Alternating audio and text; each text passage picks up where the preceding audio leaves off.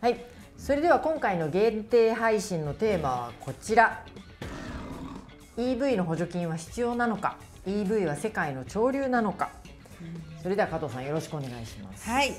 えー、実はですね先日私のところにですね、えー、三重県の市民の方で大市さんっていうですねあの方からこういうチラシが来ました。えー、これ BYD という中国の電気自動車。このあのエコカー減税対象者で、えー、CV、まあ、クリーンエネルギーのビークルの補助金85万円がつくと。これは税金の無駄遣いではないか。というそういうですね実はあのまあチラシをも、うん、あの送られてきました。この裏見ると BYD え90万円。減税なので優遇と。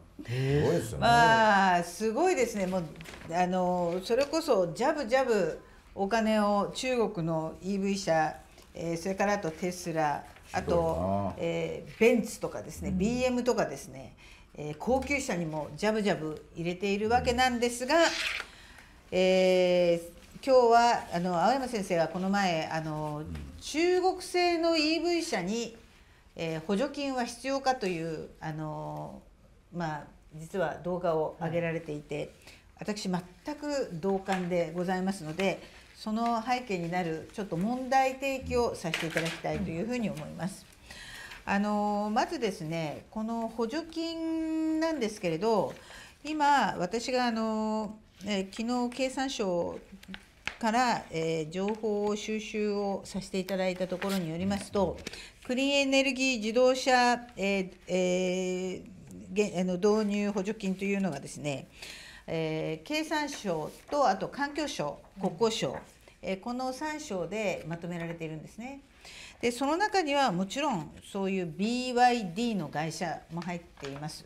えそれからあの特に私あの議論を今日させていただきたいのはタクシーやトラックなどにもですねあの EV 車を導入しろっていう話があるんですがこれはまた本当にある面で言うとタクシー会社にとってもタクシーの運転手さんにとっても、えそれからですね、あのトラックの、え特に今トラックドライバーが足りない、え時短の中で本当に苦労して、えー、今人のやりくりをしているトラックの、え、うん、運送会社にとっても大変迷惑な話だというところをあちこちから承っておりますので、えー、なぜかということも具体的に議論させていただきたいなというふうに思っております。でそこでですねまずなぜその中国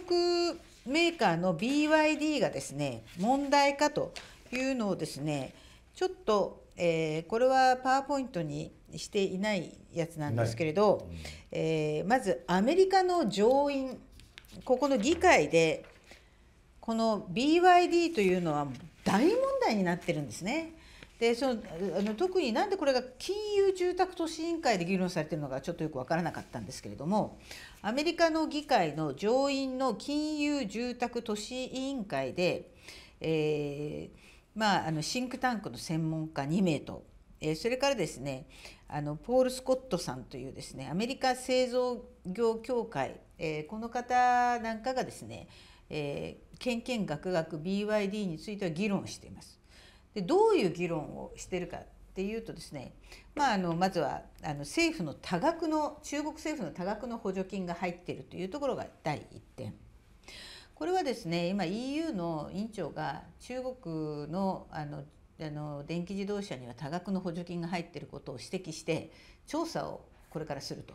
うん、えー、いうことに対して中国政府が深いあの不快を不快感を表したということが出ておりましたけれども、まあ、実際これも上院ですでに議論されています。年間1744億円が2007年2018年440億円以外にもですねたくさんのこう税金が補助金として入っているということがまず、えー、言われております。それからですね2番目これはですね経営陣が中国共産党と密接かつ直接的な関係を持っていると。中には国営の軍事産業大手の研究所で調査を指揮している役に役員が、はい、えー、取締役にいると、うん、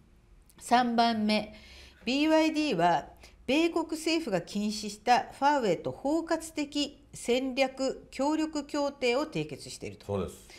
この2社は長期的かつ一体となる強固なパートナーシップで結ばれていると。で4番。BYD は民間企業のステータスを利用し外国の技術データ市場の情報を入手していると。そうです。で人民解放軍と情報を共有している。その通り。えーそれから5番目 BYD の研究開発は技術移転に照準を合わせ軍民産業融合地区ミリタリー・シビル・フュージョン・エンタープライズ・ゾーンというところで行われている、最後に BYD の電池技術がこれこそ中国製造2025また2035のチャイナスタンダードの交通強国の一翼、まあ、主翼を担っているという点で国策であると。いうこれこれらの点が述べられています。でこういう企業にですね先ほどチラシでお見せしたように、80万とか90万とかですねこういう国民の血税が投入されるということが日本の国にとって本当にプラスなのかと。何のための補助金なのか。日本の国を良くするため国民のための補助金なのかそれともねそのまあ EV を増やすというのだったら何でもいいと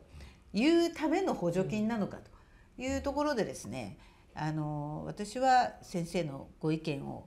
お聞かせいただきたい。